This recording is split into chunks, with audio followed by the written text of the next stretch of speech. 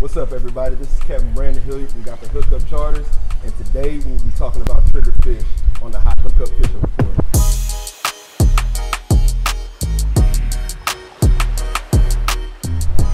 Triggerfish just came into season March 1st, and they are an amazing fish to eat, wonderful fish to fight, and a very easy fish to catch. The limit for triggerfish is one per person, and they have to be 15 inches minimum to keep. Best way to catch triggerfish is to stop over your favorite reef or wreck.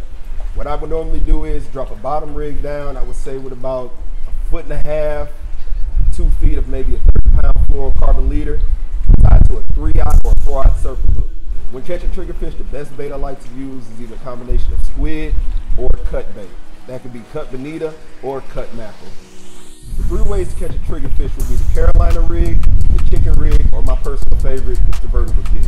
Vertical jigging is taking a weighted jig, letting it drop to the bottom and bringing it up slowly through the columns where triggerfish stay. My preference is to use slow pitch or flat fall jigs. This is Captain Brandon Hilliard from Got the Hookup Charters. Thank you for watching. And if you have any questions or would like to book a find me at www.gotthehookupcharters.com.